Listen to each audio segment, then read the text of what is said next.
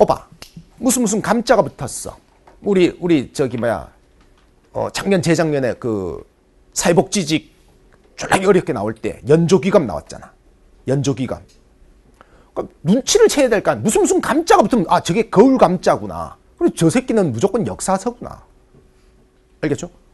그다음에 또 그 그거랑 같이 나온 게 뭐야? 방약 합편이잖아. 방자가 들어간 새끼는 뭐야? 오빠 방자가 들어간 뭐야?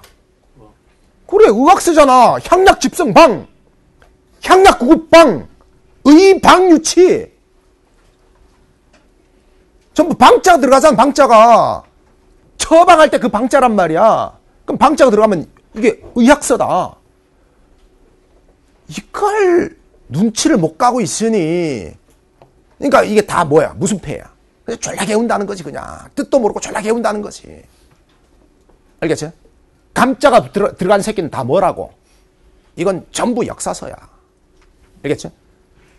무슨 동의보감 역사서 아닌데요 이거는 동의보감이 실제로 그, 그 의학 백과사전의 성격을 띠기 때문에 그게 감자가 예외적으로 붙어 있는 거야 감자가 붙은 건 저 거울 감자고 동양에서 역사를 서술한 목적은 기본적으로 감개주의야. 후대에게 도덕적 교훈을 후대의 뭡니까? 역사의 거울. 이게 되기 위해서 역사를 서술하는 거거든. 자, 그 다음에 계속합니다.